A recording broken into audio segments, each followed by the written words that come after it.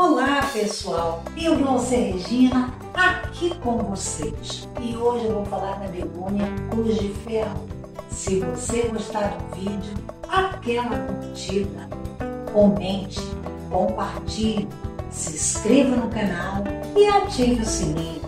E agora, vem comigo!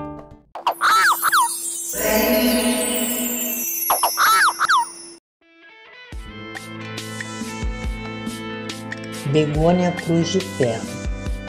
Nativa da China e Índia, é uma planta perene, rizomatosa, com folhas grandes e ovais de textura áspera e verde brilhante, adornadas com centros em forma de cruz marrom chocolate escuro. Suas flores são pequenas e brancas rosadas pode atingir 60 centímetros de altura e 45 centímetros de largura.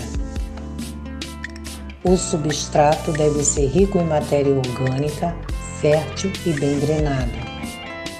Cultivado em meia sombra, pegando o sol da manhã, é bom manter o solo úmido, mas nunca encharcado.